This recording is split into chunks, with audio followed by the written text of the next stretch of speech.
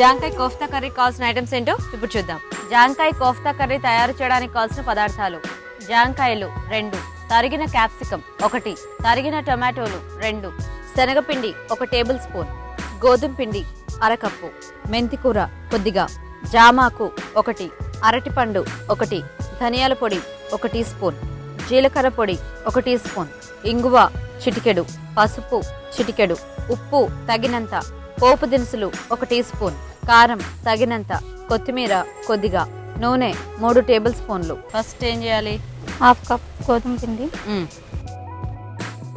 One spoon శనగపిండి okay. Half spoon కారం. So first కోఫ్తాలకి పిండి అంతా కలుపుకోవాలన్నమాట. ఓకే.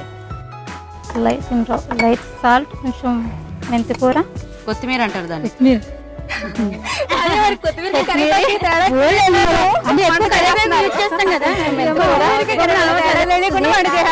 ఎక్కువ అదే వస్తుంది కరివేపాకు జామకాయ ఓకే. Half banana. ఓకే. ఇవి బాగా మెత్తగా చేసేసుకోవాలి. బనానా కూడానా? లైట్గా బనానా వేసుకుంటే టేస్టీగా ఉంటుంది. Okay okay. వాటర్ కావాలా? అయితే ఈ లోపు ఆయిల్ హీట్ చేసుకుందామా? ఓకే. మీరు ఇది కలుపుతుండండి నేను ఆయిల్ పెట్టేస్తాను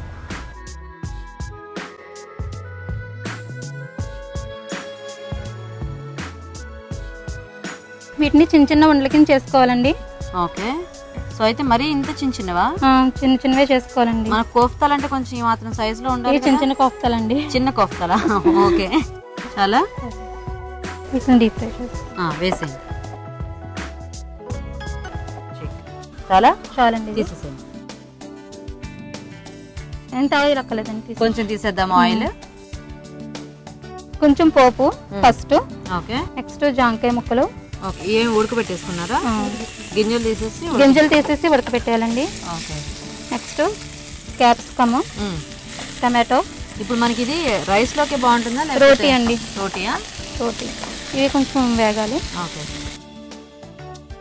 కొంచెం ఈ ముక్కలన్నీ మగ్గిన తర్వాత బాగా మగ్గాలండి. మూత పెట్టాలా? ఒకసారి. సో కొంచెం ఈ ముక్కలు మగ్గితే ఇంకా అంతా అయిపోయినట్టేనా. Okay okay. ఓకే. చూద్దామా? సరిపోతుందా ఆ, ఇలాగా సరిపోతుంది. ఓకే. కారం. ఇందాక ఇందులో కొంచెం కారం వేసుకున్నాం కదా. కొంచెం లైట్ కారం వేసుకోవాలి. ధనియా పౌడర్. జీరా పౌడర్. ఓకే. రోజా గారు బాగుందండి కర్రీ? కోఫ్తా కర్రీ? మామూలుగానే ఉంది. దాంట్లో బంగాళదుంప వేస్తే ఎలా ఉంటుంది కూర? దాంట్లో షుగర్ షుగర్ కూడా కొంచెం పసుపు కూడా. ఓకే. ఇవి కోఫ్తా ఓకే ముందుగా వేయించుకున్న కోఫ్తాలు కూడా. ఓకే. వాటర్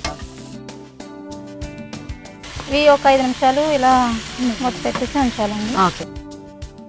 మూత పెట్టేసి చూద్దామండి ఒకసారి. చూద్దామండి. నెక్స్ట్ కొద్దిగా లైట్గా ఇంగువ. ఓకే తీసేయచ్చా ఇంకా? తీసేసాను ఆ బౌల్ ఇవ్వరా?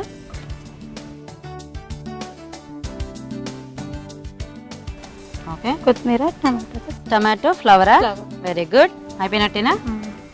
ఓకే. కొత్త కర్రీ వెరీ నైస్ ఓకేనండి చూసారు కదా వేడివేడిగా జాంకాయ కోఫ్తా కర్రీ కూడా రెడీ అయిపోయింది.